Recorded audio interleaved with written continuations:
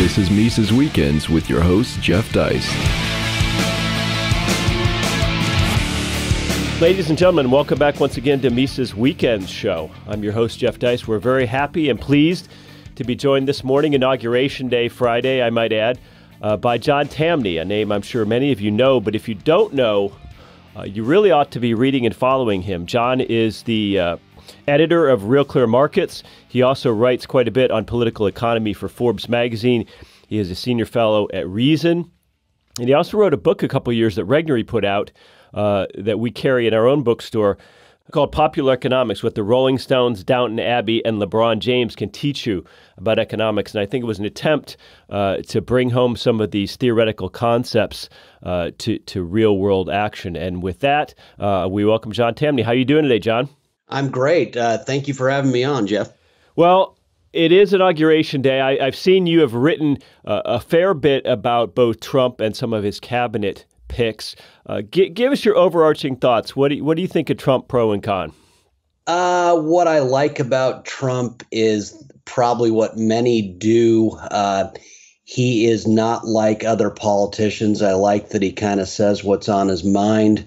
Uh, at the same time, I'm terrified by him. Uh, trade is the purpose of our work. Uh, to import is the reason that we get up and go to work every day. Uh, Trump wants to limit our ability. He's bought into this falsehood that's confused thinkers for years that somehow imports are what hurt us, when in fact imports are the reward for all of our work.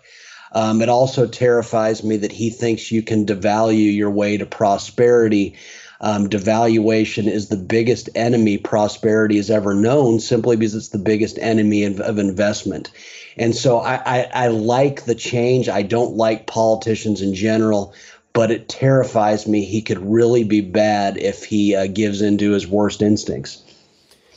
Do you think there's a difference fundamentally be- between his vision or view of, of global trade and markets and what Hillary's might have been? Um, yes, I, I legitimately do. Now, I base this on the fact that her husband was a free trader, and I feel like she ultimately would have been uh, guided by some of his logic. Um, I think Hillary moved against free trade simply because she thought it was politically expedient. I think in Trump's case, when you look at his commentary, and you look at his commentary going back to the 80s, we're talking about someone still living in the 1980s who back then felt that Japan was the biggest threat to the United States and thinks China is today. I would make the argument that if Japan and China didn't exist, we'd have to invent them. So good have both those countries been for U.S. economic growth. So it concerns me. I think Hillary would have been more moderate um, had she been been elected. That's not that's not me giving a preference to her, but I think on trade she would have been better. Well, there's also the the areas of nationalism and, of course, war and peace. And, and, as you well know, one knock on libertarians is that we're so focused on trade and economics and GDP, and you know we'd sell our grandmothers for a few more uh, points of prosperity. Uh, do you think Trump is less likely, maybe, to set the world on fire than Hillary would have been? Um, you know, that's an interesting point. Uh, he says interesting things about uh, North Korea, as in that's China's problem. And I tend to agree with that. He tends to say that the rest of the world, particularly the rich world, needs to take on or, or foot the bill for more of its defense. I think that is ultimately a peaceful concept. I don't think the world is made more peaceful when the U.S. is its policeman. But you hit on something that's important to me that um, I'm preaching to the choir and saying it to you. Guys like us love economic growth and free trade simply because we think that is the cheapest and best foreign policy mankind ever conceived. And so when people criticize us for our love of glo- of, of open trade and open markets, they miss why we think it's so important because we love peace more than anyone. Yeah, it's interesting though that they also don't see tariffs and trade sanctions as, as acts of war, and they don't see domestic aggression against citizens in the form of what I would argue aggression the form of regulations and taxes. They don't see that as as acts of war um, amongst our friends on the left. Yeah, I love how you put that. I I, I think you're so right. Um, and and again, between what we know is that when people are, when individuals are trading with one another, war becomes very expensive. It becomes costly because they're not serving one another's needs. Um, to bring in someone who's known for being of the left, uh, Joseph P. Kennedy always said to his son John, "War's bad for business," and it is. It staggers me that an economics profession, almost to a man and woman, would say that that uh, the World War II ended the Great Depression, that war stimulates the economy.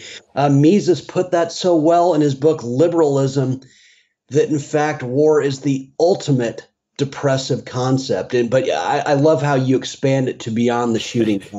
well, ladies and gentlemen, if you recall a few years ago, uh, the earthquakes in Japan uh, caused Honda dealerships across the United States to be short on both automobiles and parts for about six months. So the idea that we're ever going to have another war with Japan uh, is a non-starter. But John, I'd love to turn to your article. It in Real Clear Markets a couple days called "No, Mr. President-elect, the dollar is not too strong." And and I got to tell you, I love this article because there's even a lot of good folks on the free market side. I might throw out Larry Kudlow, who talks a lot about King Dollar. I, explain to us, you know, this fetish this enduring fetish for exports over imports. Why do so many of us believe this? All I can think is that people still believe after all this time that when people are buying from you, you're prosperous. Well, okay, that's true, but really, why do we get up in the morning every day? Why do we work for dollars?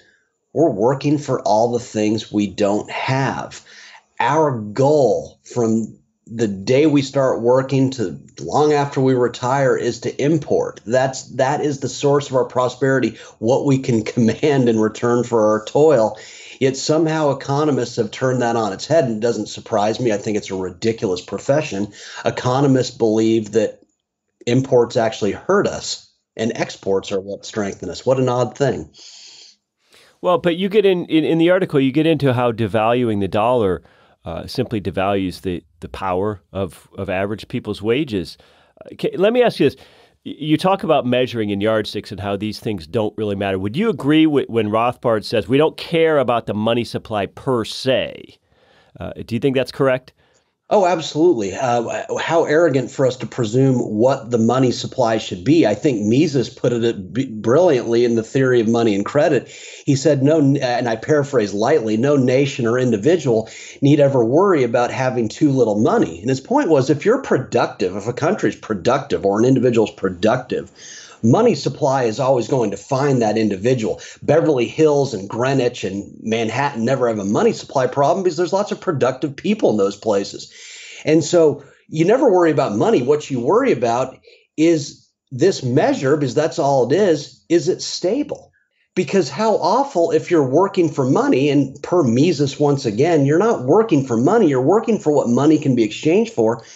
How cruel if suddenly that ticket that you're working for is devalued because that's the sole reason you're working to get what you don't have to import.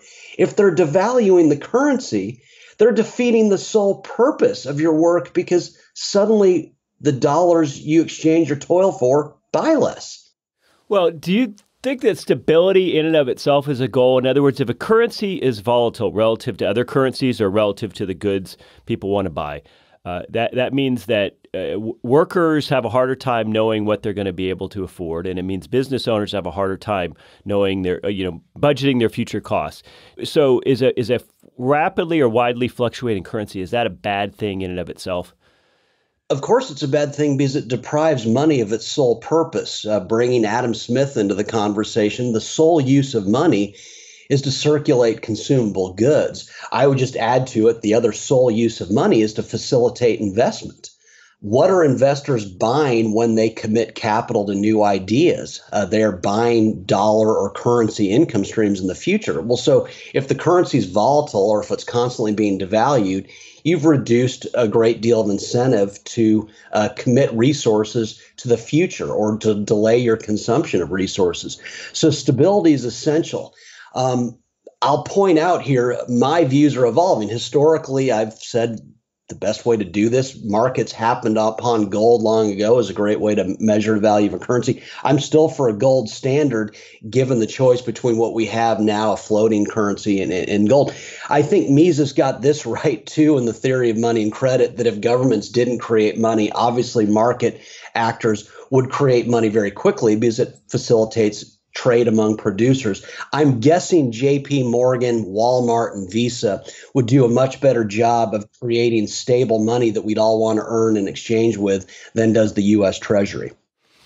Well, if stability is good and wild fluctuations are bad, isn't slow erosion bad too? In other words, the Fed's what you know, the Fed has an express policy uh, of you know about two percent inflation targeting per year. is isn't that crazy too? If we think about it properly. Oh, it's completely nutty because I don't have to tell you that if your goal is 2% inflation, what you're trying you're going to do is double the price level or devalue the dollar by name the percentage over 36 years.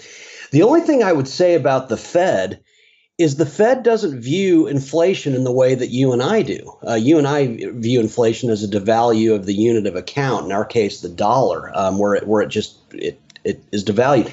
The Fed views inflation as too much economic growth, which is really strange because if you look throughout global economic history, in, uh, economic growth is the biggest enemy of rising prices mankind has ever known. I cite the uh, original mobile phone was four thousand dollars. The original uh, laser printer was seventeen thousand. Uh, early flat screen TVs cost twenty five thousand plus.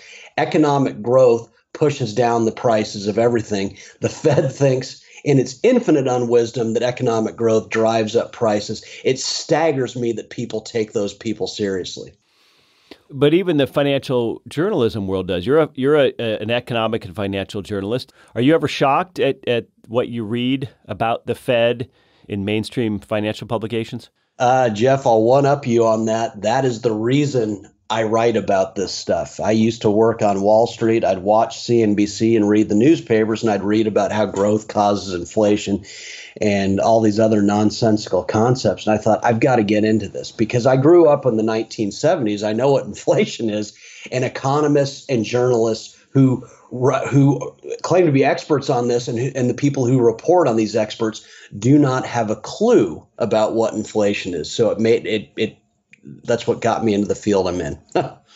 well, we only have time for one more question, so I'll ask you this: Given the current reality and what most people probably believe about trade, about the Fed, about the dollar, et cetera, you know, what are some small things a Trump administration could do, either in the Treasury Department or at the Fed itself? We know he's at least spoken to John Allison, the former Cato head, uh, about a position, perhaps vice chair at the Fed. You know, what are what are some realistic things? That Trump could do conceivably over the next four years that that would uh, would make John Tamny happy? Well, uh, uh, this is where people will disagree with me, but I think if you look at history, you don't need a central bank to devalue the currency. Um, we were devaluing the dollar long before we had the Fed. I think the dollar is a is a treasury concept, which means it's a president concept. Presidents get the dollar they want. Uh, Reagan and Clinton largely wanted a strong dollar; they got it uh, Bush Jr., Carter, Nixon wanted a weak dollar. They got it. What Trump could do is just be quiet and tell his Treasury Secretary and those officials to be quiet, to stop complaining about China and the value of its currency. That quietude would signal to the markets that we believe in the importance of a strong dollar. That's that's what I'm that's the most I can hope for. In my perfect world, they legalize private money because I do think just as market forces bring us computers, socks, and shoes of all shapes and sizes, I think market actors would bring us much better, more stable money um, that we would much prefer to earn over what the U.S. Treasury issues. But that's an idealistic dream of mine. Yeah, but I like the idea that you could legalize competing currencies right alongside uh, the the dollar. Let the Fed keep doing what it's doing. Let the Treasury keep doing what it's doing. But simply allow people to use other forms of payment, both in private business and, and to pay their taxes, without putting them in jail for it. Absolutely. Imagine what that would do. That kind of competition. Um, I would very happily earn a Walmart dollar or a Visa dollar. I think many other others would too. Well, ladies and gentlemen, our guest is John Tamny from Real Clear Markets and also a great writer at Forbes. I really recommend you check him out. He is that rarest of rarities. He is a financial journalist who actually understands economics and, and he brings to mind uh, sort of a modern day version of Henry Hazlitt in that sense, in that he writes in a very accessible uh, way rather than an academic style. Uh, John, we're so happy that you joined us. We appreciate your time. And ladies and gentlemen, have a great weekend. Subscribe to Mises Weekends via iTunes U, Stitcher, and SoundCloud, or listen on Mises.org and YouTube.